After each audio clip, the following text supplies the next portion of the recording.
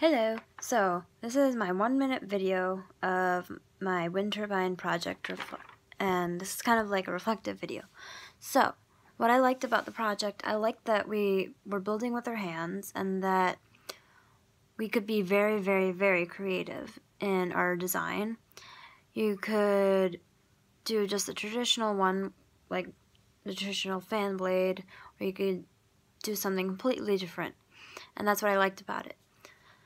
For example, I saw one group do a wind turbine with eggs on them, like the Easter egg. They would split the egg in half, hamburger wise, and then they'd have the little cup things collect the wind. And what my group did, we looked at the model that Mr. Plumby had, or a model, and it had a spiral in it. So we were trying to mimic the spiral. What I liked about it is that you could try it however you however many times you wanted to. So that way you could say hey i see that this is happening so let's go back and fix that or let's improve upon that. So i really like that.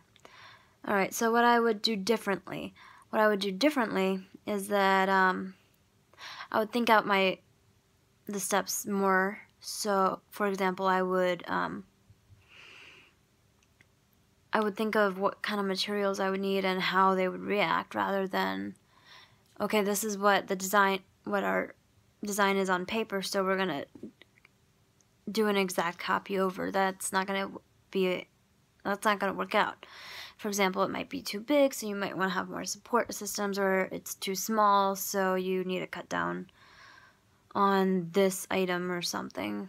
And so, advice. Um, keep trying it.